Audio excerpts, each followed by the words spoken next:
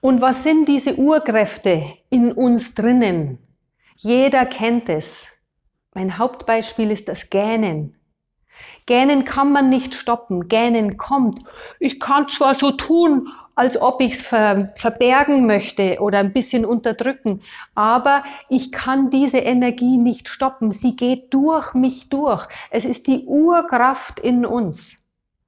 Wenn ich jetzt weiß, wie die Idealkoordination durch stabilem Leben ausschaut, wenn ich weiß, wo ist der Innenraum, wie lenke ich diese Energie durch den Körper durch, dann gibt es Offenheit und Freiheit. Das heißt, gibt es bei einer, bei einem Gelenk eine Verspanntheit, eine Enge, eine Verkürztheit, dann kann ich dieses durch Gähnen, Räkeln und Strecken diesen Punkt anvisieren, um diese energetische, um diese Gähnkraft durch mich durchzulenken, um der Öffnung, die Öffnung zu unterstützen.